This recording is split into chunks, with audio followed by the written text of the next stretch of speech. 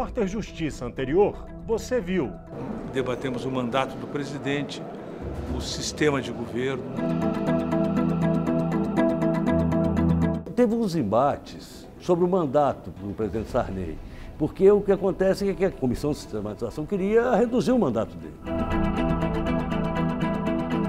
Era permitida a apresentação de emendas de iniciativa popular.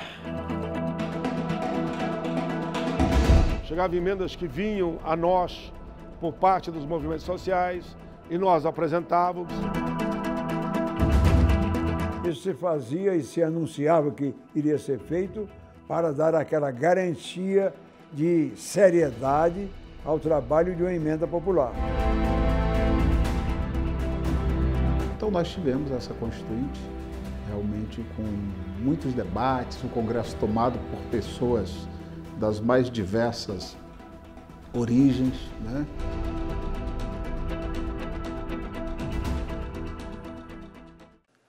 Olá, já está no ar o quarto programa da série especial Constituinte. A criação de partidos políticos e as regras para que os eleitores votassem foram discutidas por uma das comissões da Assembleia Nacional Constituinte, a Comissão de Organização Eleitoral, Partidária e de Garantias das Instituições. Nessa e também em outras comissões e subcomissões, houve a atuação marcante das mulheres na elaboração da Constituição. Seja bem-vindo ao Repórter Justiça.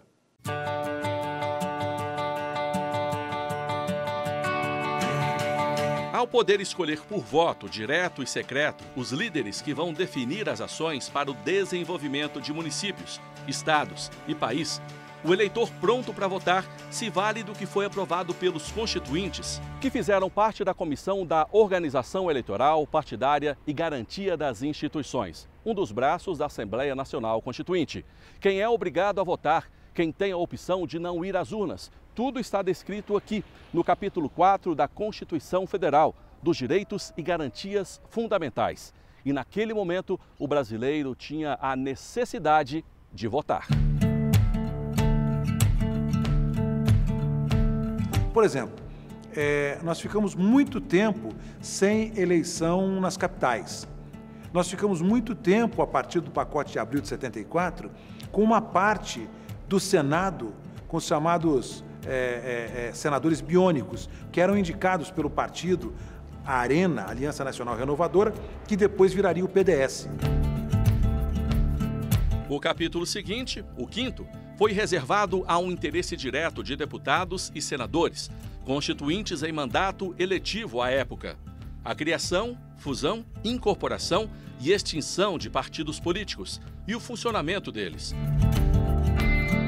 Hoje, consultor em educação, professor e mestre em sociologia, constituinte em 1987, Paulo Delgado, lembra de debates na comissão que discutia a existência de partidos políticos.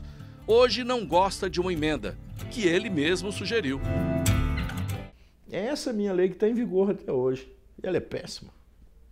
Mas na época eu imaginava que a ampla liberdade de partidos políticos não dependia de voto. Hoje está evidente, está claro, não pode ter partido político sem voto. Mas nós, nós na Constituinte estávamos tão obcecados em confrontar o período militar, porque a Constituinte o que é? A Constituinte é uma regressão democrática da ditadura. Nós não fizemos uma regressão autoritária, não fizemos uma regressão radical. Fizemos uma regressão moderada.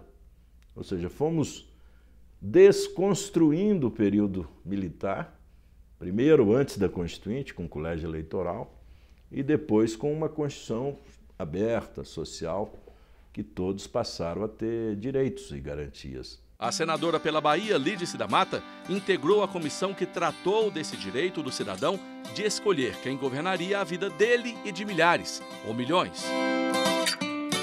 A discussão sobre voto distrital, voto representativo, né? era um momento novo para um Brasil que há muito tempo não votava para presidente da República, para governo de, de, de, é, prefeito de capital. Então havia uma fome digamos assim, de democracia, uma demanda imensa por democracia e uma, até uma certa inexperiência daqueles que tinham a obrigação de fazer as regras democráticas. Né?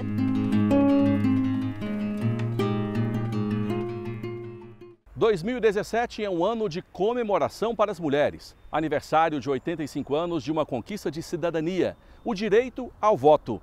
Um decreto publicado no dia 24 de fevereiro de 1932 dava a elas a competência de escolher e serem escolhidas a cargos no executivo e no legislativo. Direito garantido, mesmo que parcialmente. A permissão só valia para mulheres casadas com autorização dos maridos e para solteiras e viúvas, desde que tivessem renda própria.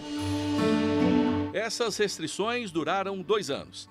Até que em 1946 o voto feminino passou a ser obrigatório, como já era o dos homens. A história da conquista da cidadania das mulheres mostra que lutas e vitórias são fatos corriqueiros para elas no Brasil. E a Constituição de 1988 é mais uma prova disso. A Carta Cidadã permitiu que a voz feminina tivesse força. Isso porque elas queriam direitos garantidos e encontravam na Assembleia Constituinte outras mulheres que as representavam. Eu fui uma constituinte com 30 anos de idade. E vindo é, dos movimentos populares, né? vindo de um processo de mobilização dos estudantes. Eu era vereadora em Salvador, tinha sido eleita para representar essa juventude estudantil que lutou contra a ditadura militar, naquele período do final dos anos 70 e também articulada com um movimento nacional que era um movimento de mulheres. Essa foi a constituinte que nós lançamos o, o, o slogan né, de constituinte para valer tem que ter palavra de mulher.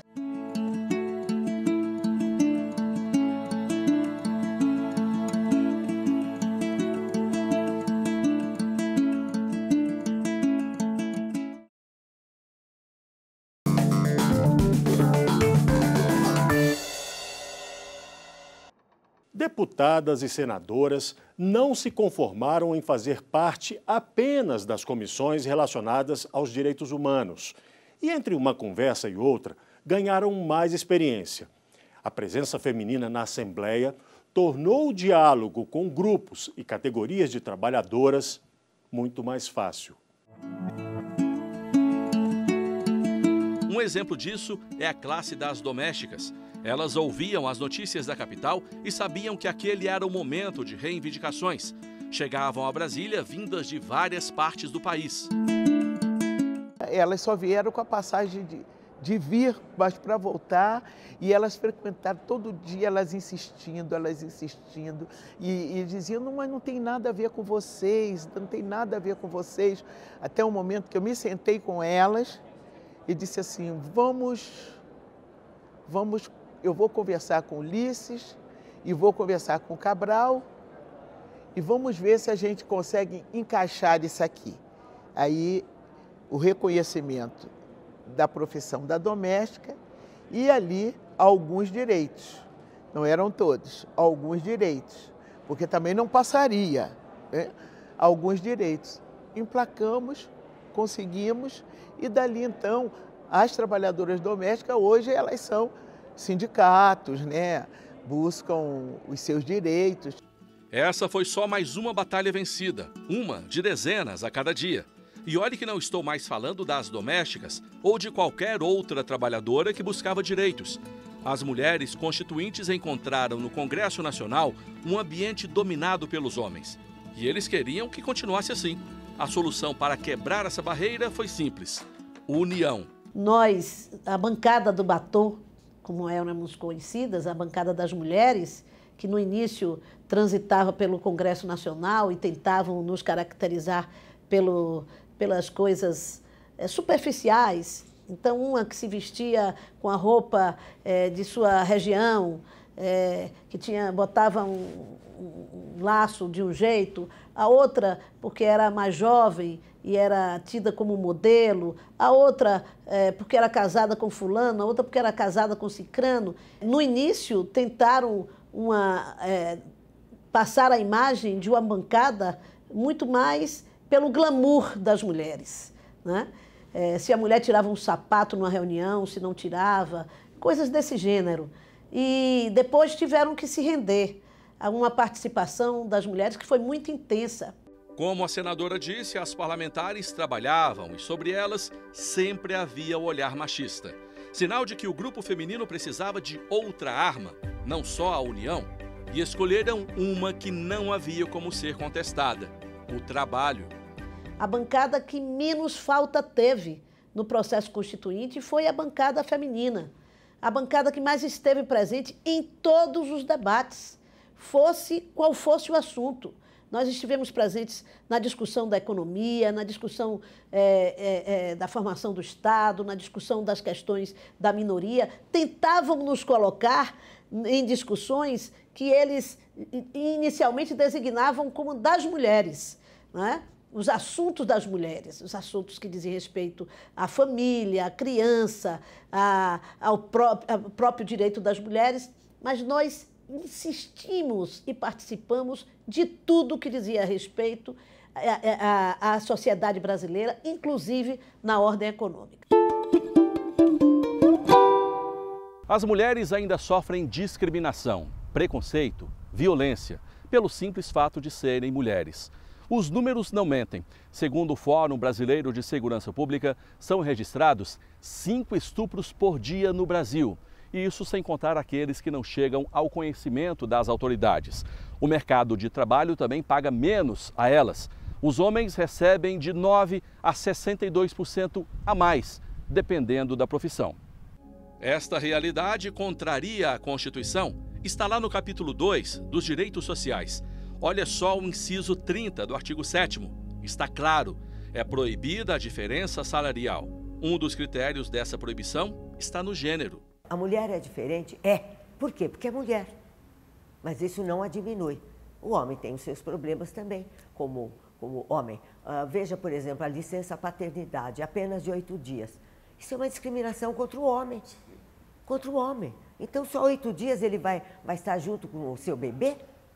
Esse bebê precisa mais da presença desse pai. É por isso que em outros países a licença maternidade é maior. E na Alemanha, se não me engano, ela é dividida. São dois anos, um ano para a mulher e um ano para o homem, se eles quiserem. O que acontece no Brasil está longe da realidade da Alemanha. Mas tanto lá quanto cá, as distorções e todos os problemas da sociedade são discutidos no Congresso. Ainda mais em uma constituinte estabelecer parâmetros para apresentar à população uma carta que tivesse o poder de atender às demandas não foi tarefa fácil. Até porque não dava e não dá para que todos saiam satisfeitos. Quando o assunto é polêmico, então, haja discussões. Havia discussões acaloradas, principalmente quando é, nós estávamos lidando com a questão mais, ó, por exemplo, a, aborto. Né? Isso aqui foi, virou, um, aí eram todas as igrejas juntas, né, e que vinham para cá e coisa, mas nós garantimos que as, a, a, o grupo feminista que defendia essa questão tivesse é, é, a oportunidade de ter a sua audiência pública. E essa vivacidade e a disposição dos parlamentares, dos constituintes, para fazer uma bela arquitetura e o conflito que houve entre tremendos interesses, grandes e miúdos, provocou um debate que produziu, acho que, o período mais virtuoso da nossa história recente. Nenhum, nenhum período posterior na política foi tão contributivo assim, as pessoas se deram tanto para fazer o melhor texto constitucional possível. Mas concordamos que o assunto está bom, né? E deve continuar. O repórter Justiça volta daqui a pouco, depois do intervalo, com mais abordagem feminina na Constituinte. Aguarde aí.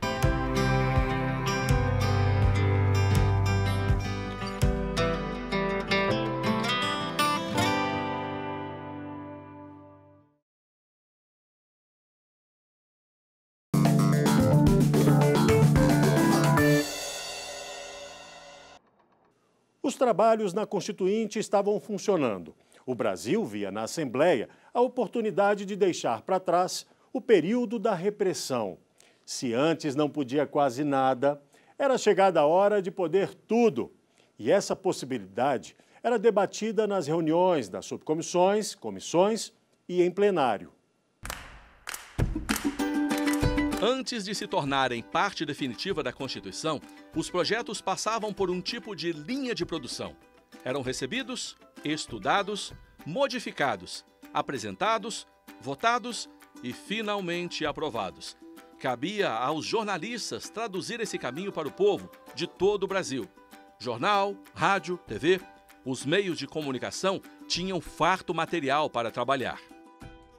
Esse foi o grande desafio de uma repórter de televisão como eu, que era explicar conceitos tão complexos é, como esses. Mas a verdade, sinceramente, eu digo, eram tantos os temas em discussão, porque quando estava discutindo isso, como é que ia ser gasto o dinheiro público, o dinheiro do orçamento, você estava discutindo como é que ia ser a função é, da terra no Brasil, você ia discutir como que seria a organização da república, como seria o poder judiciário que mudou tanto, a criação do Ministério Público Autônomo Independente que a gente tem e que a gente conhece também os efeitos, as garantias todas para que a república e a democracia é, tivessem, é, estivessem bem enraizados. Eram tantos os temas que era até difícil capturar a atenção para as questões do orçamento. Né? Eu ficava ali pondo cotovelo na pauta para é, tentar trazer essa discussão.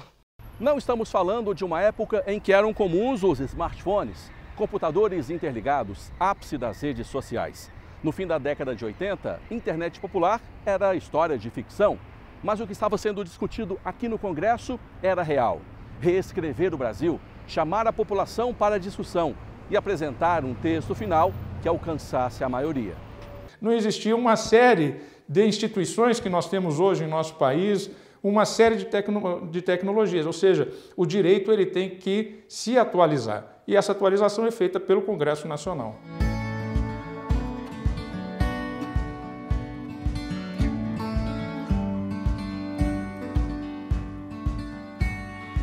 Essa Constituição de 88, ela tem mais virtudes que defeitos. Mais virtudes que defeitos. Mas, evidentemente, ela é feita por constituintes, seres humanos, que naquela época, né, com a liberação da imprensa, falou-se de muita coisa que iria ser colocada na Constituição, e eles tiveram essa tarefa de pegar esse mundo de informações, as constituições anteriores, ver o que o povo precisava e fazer uma nova Constituição. E tão disposta a corrigir os erros que tinham sido acumulados num período de mais de 20 anos de regime ditatorial, uma Constituição outorgada né, pelos militares praticamente. Né? E momentos difíceis não faltaram. Como falamos no bloco anterior, houve uma tentativa de subaproveitar o papel das mulheres constituintes deputadas e senadoras não se conformaram em fazer parte apenas das comissões relacionadas aos direitos humanos. Queriam participar de todas as discussões. E entre uma conversa e outra, elas ganharam mais experiência. Se antes estavam ligadas a grupos sociais nos estados, era chegada a hora de trazer as demandas desses grupos para o Congresso. E claro, não dava para atender a todo mundo. A única saída? Negociação nós debatíamos entre nós. Muitas vezes havia divergência entre nós sobre aquela posição. E o grande processo de crescimento nosso foi justamente aprender a negociar. E esse aprendizado fez com que nós conseguíssemos ser, aprovar mais de 80% da plataforma que trouxemos. No fim das contas, o que interessava era aprovar o que se trazia das ruas. Mas no Congresso havia outros interesses tão legítimos quanto. E o parlamento exercia a essência política do legislativo: discutir. Só assim é que se chegava e se chega a um acordo. Cede daqui, avança dali. Para muitos parlamentares, esse exercício foi um ganho, não só para a vida política. A Constituinte, podemos dizer isso, foi uma grande escola. Muitas mulheres da nossa bancada se separaram. Se separaram mudaram de partido. Tinham mulheres que vieram é, do PDS, que hoje seria o DEM, né, uma parte do DEM, é, que saíram, vinham da política com maridos do mesmo partido, e nesse contato de, de agenda feminista e feminina, nessa luta para garantir é, coisas que elas se convenceram que eram direito indispensável para que a mulher é, pudesse é, ter na Constituição, elas começavam a ter e a debater e a conviver com outras ideias. E isso levou a um confronto com aquele ambiente político que ela vivia antes, terminando em separar-se e assumir outra é, definição partidária. A Constituinte fez com que as parlamentares descobrissem em si novas mulheres. A vida política tinha de continuar e daquele momento em diante o caminho era outro: separação do marido, separação do partido, separação da família, mesmo que por um período pequeno, no caso também das jornalistas. Cobrir a Constituinte era tão desgastante quanto participar dela, e muitas vezes participação é sinônimo de emoção. Para mim, pessoalmente, foi muito emocionante. Eu tinha ido para Brasília, não nem conhecia a cidade, fui com meu filho, que tinha 14 anos. Quando chegou o dia da promulgação da Constituição, ele pediu um terno emprestado para um amigo e foi para o Congresso para assistir. Tamanha era a certeza de que aquele era um momento histórico. E eu me lembro de estar dentro da, do plenário da Câmara, quando Ulisses Guimarães promulgou a Constituição. Declaro promulgada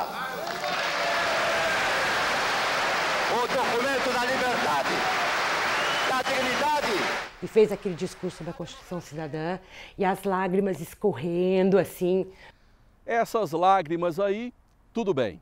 Outras, de dor, nunca mais. Para garantir isso às mulheres, a Constituição devia abrigá-las de alguma forma. Nada de direitos a mais que os homens. A intenção era simplesmente igualar. Veja o senhor, ainda o jornal de hoje está dizendo: empresas médias contratam menos mulheres. Considerando as atividades, em 2015 os homens eram maioria em mais da metade. Empresas médias não contratam mulheres, só empresas grandes contratam, não obstante a mulher já ter uh, chegado uh, em atividades muito aperfeiçoadas. Como podemos ver, ainda hoje, não é uma lei que muda uma cultura. Estabelecer parâmetros legais é só o começo Afinal, diferenças estarão sempre por aí. E não é nenhum problema. Graças a Deus, somos diferentes. Mas a mulher, pelo fato de menstruar, pelo fato de engravidar, tem certos períodos em que essa condição feminina pode trazer alguns dissabores. Por exemplo, a mulher tem a licença gestante, não é? O homem tem um período menor, a mulher tem a licença gestante, que aliás é pequena, em outros países é maior. Veja como é um traço cultural. Em países europeus, se não me engano, a Alemanha, a licença gestante, a licença maternidade, é de dois anos. Aqui é de seis meses no máximo. Por quê? A licença maternidade é a favor da mulher? Não. Se a mulher tiver um parto normal, ela volta logo a trabalhar. A licença maternidade é para o infante. É porque a criança tem necessidades físicas e psíquicas da presença da mãe.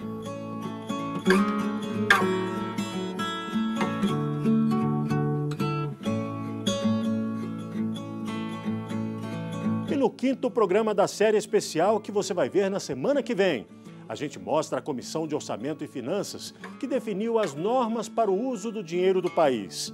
E ainda, uma figura política que soube ouvir, que articulou, convenceu, encantou até os adversários pela elegância, considerado um grande líder, o presidente da Constituinte, deputado Ulisses Guimarães. Tchau.